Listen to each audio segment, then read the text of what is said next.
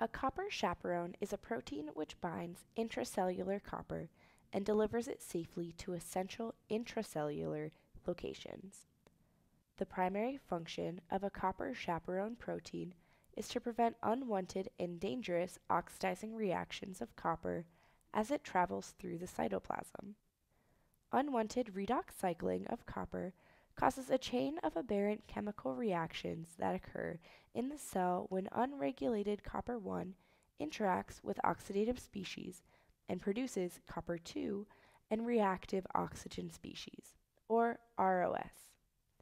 The reactive oxygen species, such as hydroxide radical, are hazardous to the health of the cell because the potential impact of oxidative stress when they interact with surrounding proteins and surfaces, overall leading to the aging and potential death of the cell.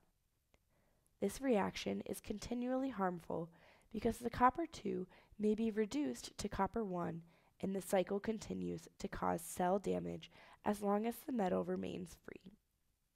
If copper chaperones do not properly transport and protect intracellular copper, the reactive products of redox cycling will irreversibly damage the cell. In order to resolve the concern of redox cycling, the copper chaperone stabilizes one oxidative state of copper. The copper 1 oxidation state is selected to be stabilized because the cell is a reducing environment and prefers this state already. This study concentrates on the representative copper chaperone antioxidant 1, or ATX1 in shorthand. ATX1 is present in yeast but is studied with the application for human cells through the analogous protein ATOX1. Similarly, the CCC2 protein is analogous to the human protein ATPase 7A and B. The analog names are written in parentheses besides their yeast representatives. ATX1 is a part of a chain of copper activity through the cell. This chain of activity includes copper transported through the cell membrane by CTR1 to ATX1 to the CCC2 protein and onward.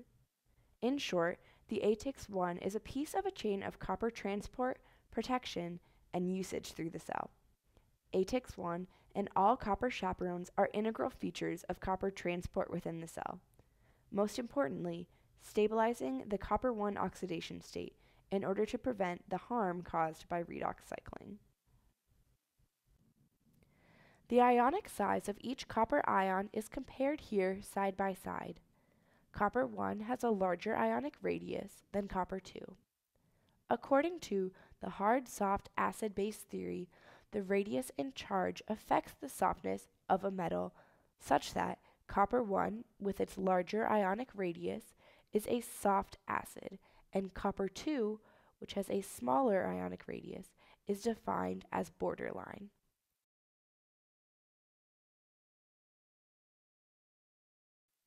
The binding site of ATX1 is characterized by two cysteine residues, which contain a terminal sulfur when deprotonated. Also due to the radius and charge, sulfur is considered a soft base.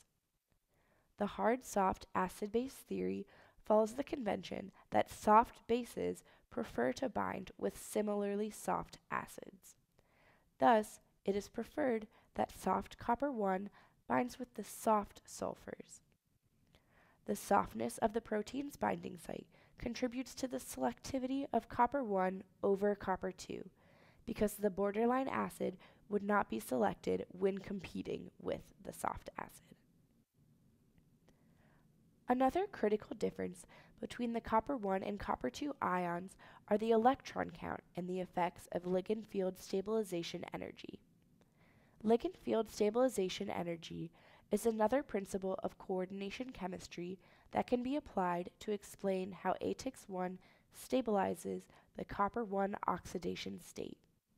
Copper 1 is a D10 metal, meaning that there is a complete set of 10 electrons in its D shell and has an associated ligand field stabilization energy of zero. This ligand field stabilization energy of zero means that copper 1 has no energy preference for one binding geometry over another. Thus, copper 1 will bind linearly to the chaperone when copper 2, which is a D9 metal with a non-zero ligand field stabilization energy, will not. The zero ligand field stabilization energy of copper 1 also assists in the transfer mechanism from the copper chaperone to another protein, such as CCC2. During the docking and transfer process to CCC2, copper forms an additional bond with an adjacent cysteine residue of the CCC2 protein before breaking any initial bonds with ATX1. This capacity is also enabled by the electron count, with 10 electrons from the metal and 2 from each sulfur, which has not yet reached its capacity of 18. Thus, the geometry is able to transition from linear to trigonal planar before breaking the bonds with ATX1 and returning to a linear geometry at the CCC2 site. The two coordinate linear and three coordinate trigonal planar complexes are both favorable to the copper 1 over the copper 2 due to the ligand field stabilization energy preference. This mechanism again promotes stability of copper 1 while disfavoring copper 2. Finally, the lability of the copper 1 reduces the energy cost of transport from ATX1 to CCC2. When a metal ion is labile, this means that it reacts at a high kinetic rate and may readily replace ligands in coordination complexes. Copper, both as copper 2 and as copper 1, is especially labile. This lability comes as a result of the presence of electrons in the E sub g high energy anti-bonding orbital. When these electrons are present in this higher energy state, they are more readily reactive and thus are able to react faster as well. When the copper 1 enters the cell through CTR1, the copper chaperone complex binds and transports the copper through the cell to the metal's next binding site. The copper's high lability is utilized because the metal is able to change ligands readily. Thus, it can change from one transporter complex to another without high energy costs. The high lability of copper also gives further motivation to prevention of free copper in the cell, since it will also react rapidly with metabolism products to form reactive oxygen species.